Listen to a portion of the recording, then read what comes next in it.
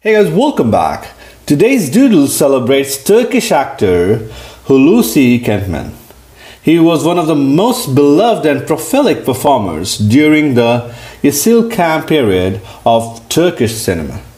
Kentmen was born on January 20, 1912 in Veliko Tarnovo, Bulgaria and grew up in Turkey near the Gulf Izmit.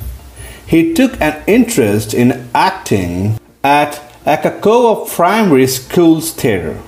While serving in the Navy, Kentmen regularly performed in plays at community theaters where he caught the eye of Burhanettin Tepsi, a renowned theater director.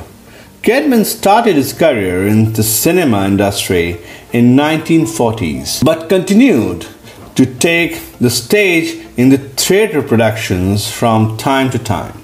He is best remembered by the father figures he regularly played, who had tough exteriors and good heart.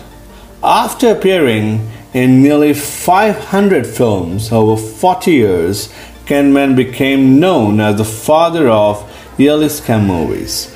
Today in Turkey, the phrase like Hulusi Kentmen is widely used to describe a firm but loving person.